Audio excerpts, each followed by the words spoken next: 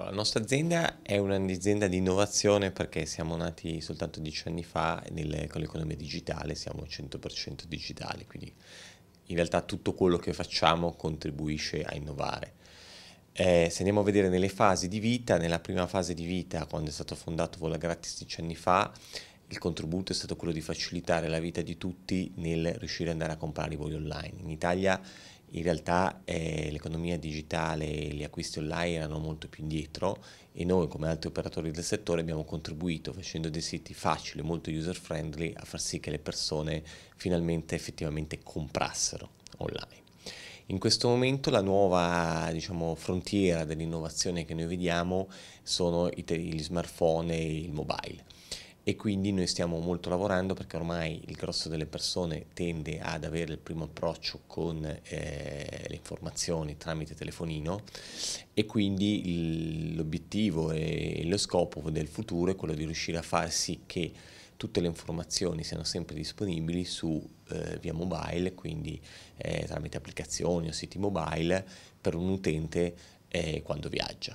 E quindi questo contribuisce sicuramente alla facilità diciamo, di, di distribuire qualsiasi prodotto turistico.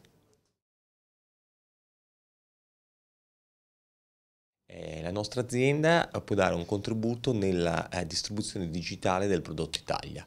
Noi stiamo lavorando adesso con il Fondo Strategico Italiano e con altri soggetti per cercare di canalizzare in un unico progetto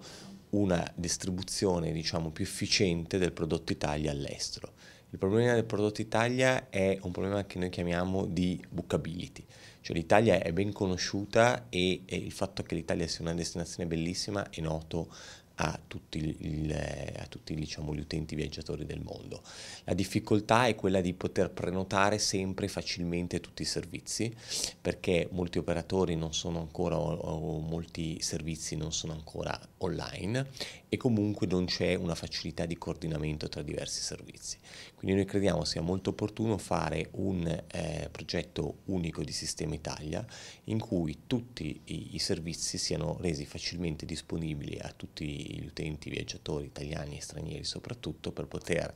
eh, prenotare in maniera, diciamo, digitalizzare tutta la, la, la, mm, la, fase di prenotazione e di informazione e eh, quindi fruizione di, del, del prodotto Italia. E, e quindi noi crediamo molto in questo progetto uno degli aspetti fondamentali è cercare di fare un progetto unico di sistema, in Italia come al solito questa cosa non è facilissima e stiamo lavorando con questo, sono qui a Roma anche oggi anche per questo motivo, per altri incontri che devo fare e speriamo di riuscirci.